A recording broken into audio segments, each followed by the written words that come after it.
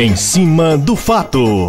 Oferecimento Clínica Fisiolife, o melhor da tecnologia médica e exames laboratoriais com preços acessíveis em Timon. Fisiolife, mais saúde para você. E Big Leste, a limpadora de fossas do professor Ladislau. Telefones 3212-6935 e 8845-7909. Big Leste, agora também em Autos.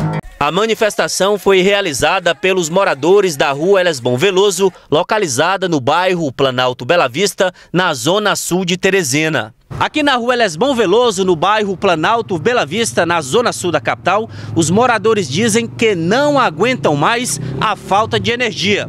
Eles alegam que isso acontece todo dia, por isso montaram a segunda barricada para chamar a atenção das autoridades.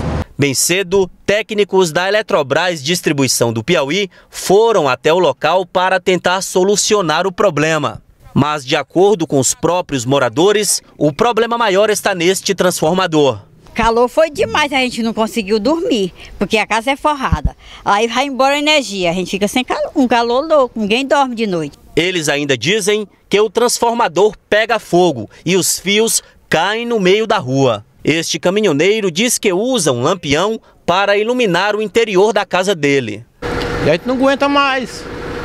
É triste a situação, nós estamos no pleno século XXI e passando as consequências do século XVIII. Então não justifica. Eu tenho uma arma para me mostrar para a Eletrobras. Se é o que a gente vai ter que voltar, usar o lampião, que a minha arma é o lampião. Quando falta energia, tem que usar o lampião dentro de casa.